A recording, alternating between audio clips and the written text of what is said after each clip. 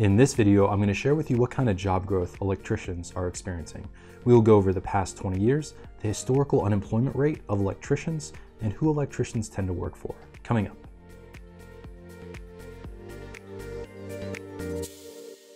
Hey everybody, Stephen Hack here, and this is Career Watch, where we keep you up to date on job statistics, salary statistics, and other career related statistics. If you end up enjoying this video, you can support us by subscribing. Almost every building in the United States has electrical power. Electricians install, maintain, and repair electrical power, communications, lighting, and control systems in home, businesses, and factories. Electricians often work alone, but on more complex work, they can collaborate with engineers, architects, elevator installers, and other construction specialists. Let's get into the job statistics. In the year 1999, there were about 612,000 electricians nationally. By the year 2018, this number had risen to about 656,000 jobs nationally.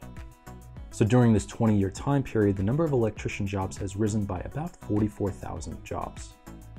But know this, the job gains have not been consistent at all over the years. From the year 1999 to 2008, electrician jobs rose and fell depending on the year. The Great Recession hit electricians particularly hard in 2008. From 2008 to 2011, electricians lost over 120,000 jobs. Then job growth started again, and from 2011 to 2018, the field of electricians gained over 142,000 jobs.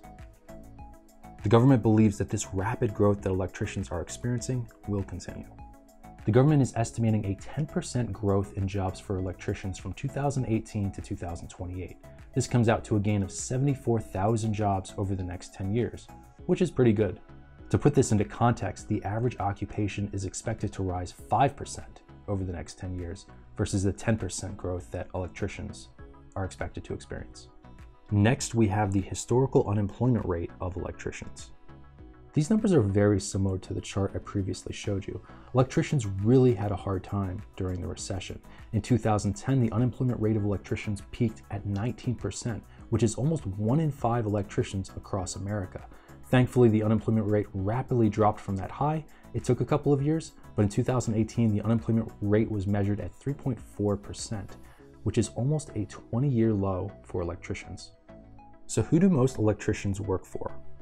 The vast number of electricians, two out of three electricians across the country work as contractors. Only 6% of electricians are self employed, and 3% work for the government. Are you interested in becoming an electrician? Let me know in the comments below. Thank you so much for watching this video, and I will see you next time.